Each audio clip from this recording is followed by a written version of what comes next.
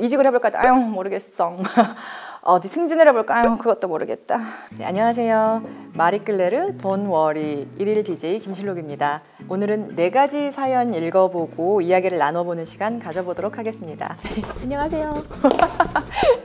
먼저 첫 번째 사연입니다. 안녕하세요. 시험 기간만 되면 벼락의 신 제우스가 되는 20학번 대학생입니다. 20학번이면은 이번 시험도 벌써 일주일밖에 안 남았는데 마음이 조급해지다 보니 넷플릭스와 유튜브로 도피처를 삼아 시간을 보냅니다. 시험 기간을 무사히 넘길 공부법이나 꿀팁이 있다면 알려주실 수 있을까요? 저도 시험 기간에만 바짝 공부했던 기억이 납니다.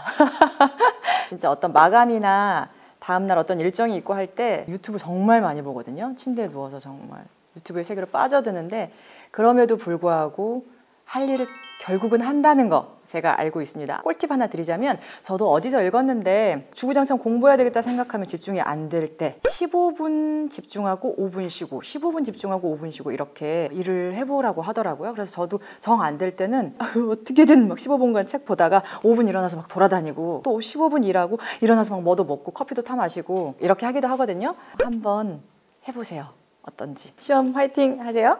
두 번째 사연 읽어볼게요. 안녕하세요. 저는 20대 취업준비생입니다. 스스로가 생각하기에는 부족함이 없다고 생각했는데 제가 목표한 회사에 지원을 하면 서류 면접까지 간 후 매번 최종 단계에서 탈락을 합니다. 남들과 비교하고 싶지는 않지만 주위 친구들의 합격 소식을 들을 때면 불안하고 조급한 마음이 들기도 합니다. 어디서부터 잘못되었던 걸까요? 답답한 마음에 사연을 보내봅니다. 거기까지 가기 정말 힘든 일인데 최종까지 갔다는 것 자체가 정말 대단하시고 제가 가까운 언니 중에 뭐 물론 되게 예전 일이죠. 제가 나이가 있으니까 정말 빠지는 게 없는데 항상 최종에서 안 되는 거예요. 누가 돼도 언니가 먼저 될 거야 라고 생각했는데 항상 안 돼서 이상하다, 이상하다, 자타공인 이상하다 생각했는데 결국 그 언니랑 되게 어울리는 회사에 들어가게 됐었어요. 그때 제가 아, 취업하는 것도 뭐 사람 만나는 거나 연애하는 것처럼 정말 그 사람 만나려고 그 회사 들어가려고 이렇게 어려웠구나.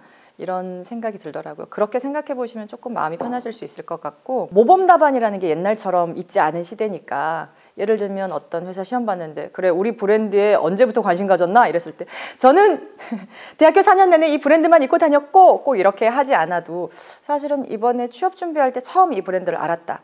근데 이러이러한 면에서 저한테 굉장히 인상 깊었고 찾아봤더니 마케팅을 이렇게 하고 있던데 저는 사실 다른 부분이 더 부각되면 좋을 것 같더라. 그래서 이런 부분 부각시키기 위한 제 아이디어는 이거고 뭐 이런 식으로 진솔한 자기 경험에서 출발한 대답들을 하게 되면 그것도 굉장히 강점일 거라고 생각합니다.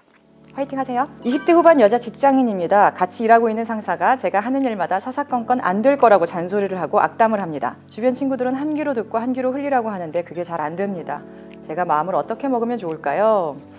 제가 지금 만약에 연기를 한다. 이런 작품을 제안받았는데 이런 상사 역할이다. 라고 했을 때 상상을, 그 인물을 이렇게 상상을 해보면요. 열등감이 되게 있는 인물로 설계를 할 것 같아요. 어떤 선택에 의해서 그 일을 안 한다기보단 아유, 모르겠다. 뭐 이직을 해볼까? 아유, 모르겠어.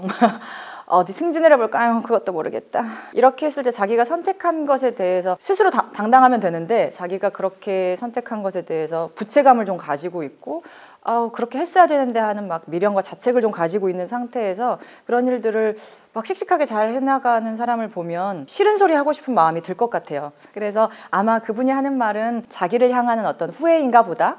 라고 생각하시면 마음이 훨씬 편할 것 같고요. 그 말은 반대로 하면 지금 굉장히 잘하고 계시다는 거니까 어, 그렇게 마음 쓰지 마시고 아, 하시려고 하는 일, 또 시도하는 일들 더 용감하게 씩씩하게 해 나가 보세요. 응원합니다. 안녕하세요. 저는 이직 고민을 하고 있는 30대 직장인입니다. 소위 인생에서 세 번의 기회가 온다는 말이 있는데 그 기회가 지금 제 눈앞에 있는 것 같습니다. 그런데 그 기회를 무작정 잡자니 지금의 안정된 삶을 포기해야 하니 고민이 됩니다. 배우님께서는 지옥이라는 작품이 기회였을 것 같은데 어떤 마음으로 그 기회를 잡으셨는지 궁금합니다. 아, 인생에서 세 번의 기회가 온다는데 그 중에 하나 앞에 서 계시니 얼마나 아, 좋은 일인가요? 설레고 기쁘고 또 기대도 되고 두렵기도 하실 것 같은데요. 아, 이게 기회다라는 생각보다 이 일이 진짜 지금 이 순간에 나를 이끄는가? 마음으로든 아니면 환경적으로든 어, 지금 이게 이 일이 정말 나를 콜링하고 있는가를 잘 한번 살펴보시면 더 판단하기가 쉬우실 것 같아요. 지옥 같은 경우도 저한테 제안이 왔을 때 기회다라는 생각은 사실 못했고요.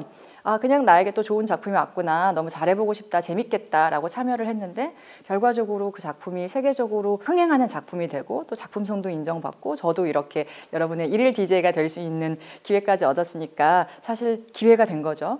지금 사연 보내주신 분도 기회라고 생각하실 만큼 아마 되게 좋은 일이 눈앞에 있으신 것 같아요. 그 일이 정말 나를 콜링하고 있나 한번 마음으로 그리고 환경적으로 잘 되짚어 보세요. 응원합니다. 아, 지금까지 배우 김실록이었습니다. 사연 들어주셔서 그리고 저의 어설픈 조언을 들어주셔서 감사합니다. 안녕.